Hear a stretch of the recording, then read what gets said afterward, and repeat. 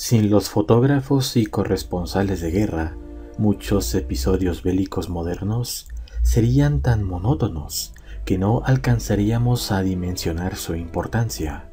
Una sola imagen nos transmite unas veces la alegría, otras veces la tristeza de aquellos a los que les tocó vivir un momento histórico.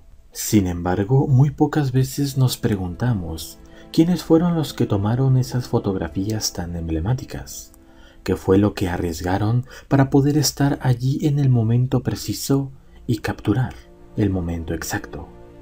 Acompáñenme en los próximos minutos porque hoy veremos quién fue uno de los fotógrafos de guerra más famosos del siglo XX, un hombre que llegó a capturar imágenes tan memorables como la muerte de un miliciano en la Guerra Civil Española o los primeros soldados americanos desembarcando en la playa de Normandía. Me refiero a Robert Capa.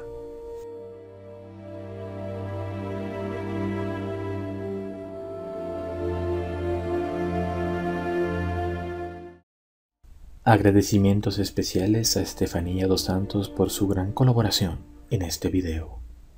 Endre Emo Friedman, quien más tarde se convirtió en Robert Capa, nació en 1913 en una familia judía de Budapest.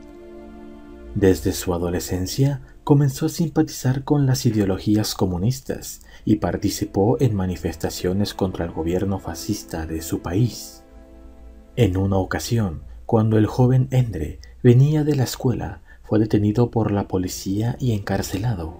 Lo torturaron e interrogaron hasta que su madre logró que lo dejaran en libertad. Sin embargo, la policía le advirtió que abandonara el país, por lo que Endre se exilió a Berlín. Allí comenzó a estudiar periodismo, pero pronto se quedó sin dinero y abandonó sus estudios. En ese entonces Berlín estaba lleno de fotógrafos de vanguardia. Endre visitó el estudio fotográfico de una amiga húngara que lo introdujo en la fotografía y lo ayudó a conseguir un empleo de ayudante en la prestigiosa agencia fotográfica Depot. Después de un año se le presentó una oportunidad. Se supo que León Trotsky estaría en Copenhague para dar un discurso, pero como todos los trabajadores de la agencia estarían ocupados ese día, Endre fue enviado como fotógrafo. El joven se coló discretamente lo más cerca que pudo y consiguió hacer unas magníficas fotos de Trotsky, las cuales se publicaron con mucho éxito. A partir de ese momento, Endre decidió dedicarse a la fotografía. Desgraciadamente, el ascenso al poder del Partido Nacional Socialista Alemán hizo que Endre se exiliara a Francia. En París tuvo contacto con otros jóvenes fotógrafos y conoció a una joven judía alemana, también exiliada, llamada Gerda Pojorile, la cual se convirtió en su pareja. Endre le enseñó todo lo que sabía sobre fotografía y ambos comenzaron a trabajar. Como las agencias francesas no compraban sus fotografías a buen precio, tuvieron la idea de que Endre se hiciera pasar por un reconocido fotógrafo norteamericano llamado Robert Capa y Gerda, que cambió su nombre a Gerda Taro, y Gerda, que cambió su nombre a Gerda Taro, fingiera ser su secretaria. De esta manera lograron vender sus fotos tres veces más caras, cuando estalló la guerra civil en España, fueron contratados como corresponsales. Los dos simpatizaban con el bando republicano y comenzaron a retratar las calles bombardeadas, la angustia de la población civil y a los soldados en las trincheras. Aunque cada uno traía su cámara para tomar sus propias fotografías, ambos firmaban con el nombre de Robert Capa, lo que muchos años después hizo verdaderamente difícil saber quién había tomado cada foto en realidad. El 5 de septiembre de 1936, la pareja se encontraba en medio de un enfrentamiento, cuando, con una cámara Leica de 35 milímetros, tomaron la legendaria fotografía de la muerte de un miliciano llamado Federico Borrell, en el Cerro Murciano, en Córdoba, en pocos días la foto fue publicada por la revista francesa Bou. La instantánea era especial porque mostraba de manera dramática el momento exacto en el que el soldado perdía la vida en el frente de batalla.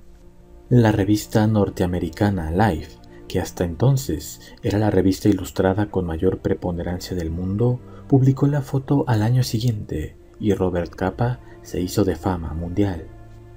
Sin embargo, la fotografía del miliciano ha sido profundamente estudiada y hasta hace poco se descubrió que no fue tomada en Cerro Murciano, sino en las colinas de un pueblo llamado Espejo, a 50 kilómetros de Córdoba.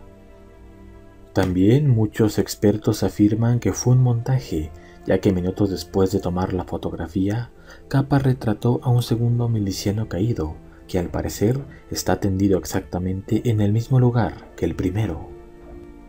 Otros aseguran que por la disposición del sol, la foto fue tomada a las 9 de la mañana y que según los registros a esa hora no hubo ningún combate.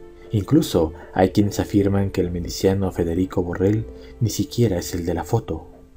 Pero aún con toda esta controversia, tanto Capa como Gerda se hicieron fotógrafos de renombre con esa instantánea. Durante el tiempo que la pareja estuvo en España, tuvo algunos distanciamientos ya que Gerda rechazó varias veces las propuestas de matrimonio de Capa y comenzó a firmar sus fotografías con su propio nombre. El 25 de julio de 1937, mientras Capa estaba de visita en París, Gerda se encontraba con las tropas republicanas en la batalla de Brunete y fue accidentalmente aplastada por un tanque republicano y al día siguiente falleció Capa se enteró de su muerte cuando por casualidad vio la noticia en un periódico de París. A pesar de todo, Capa continuó cubriendo las batallas de la guerra en España y en 1938 viajó hasta China para cubrir parte de la guerra sino-japonesa, donde tomó las fotografías más terribles y crudas de su carrera. Con el inicio de la Segunda Guerra Mundial se exilió nuevamente y fue a vivir a Nueva York con su madre y su hermano. Por un breve tiempo realizó fotografías en Estados Unidos, pero después fue enviado a cubrir varios frentes de la guerra en Europa. Fue a Inglaterra para cubrir los bombardeos en Londres. Luego partió hacia el norte de África para cubrir la guerra contra el Africa Corps en Túnez y posteriormente acompañó a los aliados en el desembarco de Sicilia y en el avance por Italia. Después regresó a Inglaterra y decidió embarcarse con las tropas que desembarcarían en Normandía para fotografiar la mayor invasión de la historia. Capa fue el único fotógrafo que acompañó a la primera oleada de tropas que invadieron la playa de Omaha. Protegió su cámara con una bolsa impermeable de tela encerada. Consiguió eludir la muerte y tomar 134 fotografías de ese día histórico. Desafortunadamente, cuando los negativos llegaron al laboratorio para ser revelados, se dañaron y solo pudieron salvarse 10 fotografías, que se conocen al día de hoy como las 11 magníficas. Durante las primeras horas del día D, se creyó que Capa había muerto, pues un sargento afirmó haber visto su cadáver flotando en el mar, pero seguía vivo y continuó fotografiando el avance aliado. Estuvo en la liberación de París, en las Ardenas. Se lanzó en paracaídas junto a los soldados para retratar el cruce del río Rin. Cubrió el asalto de Leipzig y llegó hasta la ciudad de Berlín, donde tomó fotografías de la vida cotidiana entre los edificios destruidos. Capa regresó a vivir a Estados Unidos y en 1947, junto a otros fotógrafos, fundó la agencia Magnum Photos, que fue la primera agencia en proteger los derechos de autor de las fotografías, pues Capa se molestó cuando un grupo de neonazis utilizaron una de sus fotos para ilustrar un artículo antisemita. En 1948, la creación del Estado de Israel atrajo a Capa para fotografiar la primera guerra árabe-israelí y a los miles de sobrevivientes del holocausto que llegaron a Palestina. Durante este conflicto, Capa Tuvo la mala suerte de que una bala le atravesara el muslo, pero pudo recuperarse y prosiguió trabajando como fotógrafo en París con pintores y artistas de la talla de Pablo Picasso. Por algunos años Capa dejó de cubrir los escenarios bélicos, por lo que no fue a la guerra de Corea. Finalmente, en 1954, mientras estaba en Japón retratando a los niños de la posguerra, fue llamado a sustituir al fotógrafo que cubría la guerra de Indochina y aceptó. El 25 de mayo de 1954, mientras caminaba junto a un grupo de soldados franceses en Taibín, Robert Capa se alejó unos pasos para encontrar un buen ángulo para una fotografía y accidentalmente pisó una mina. Fue encontrado con el pecho abierto y una pierna destrozada. Murió, haciendo lo que más le gustaba a los 40 años, después de 22 años de carrera y tras haber sobrevivido a cuatro guerras. En el año 2008 se supo que en México aparecieron tres cajas con casi 4.000 negativos de fotografías de la Guerra Civil Española, tomadas por Robert Capa, Gerda Taro y su amigo el fotógrafo David Seymour. Las tenía un sujeto cuya tía fue amiga del embajador de México en Francia de Vichy, pues cuando Capa se embarcó hacia Estados Unidos, huyendo de los nazis, dejó miles de negativos en su estudio, su ayudante los juntó y los llevó hasta Burdeos para enviarlas a México, de modo que llegaron hasta el embajador mexicano y estuvieron perdidas por más de siete décadas. La fundación fotográfica creada por el hermano de Robert Capa las adquirió y organizó varios eventos para exponerlas.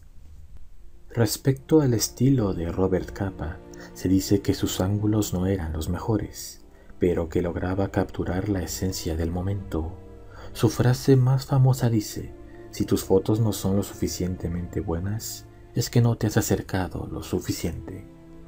Si te ha gustado este video, no olvides compartir y difundir mi contenido para que llegue a más personas. Mis redes sociales y correo electrónico están a la disposición. Yo soy el gato historiador. Te deseo un excelente día y nos vemos en un próximo video.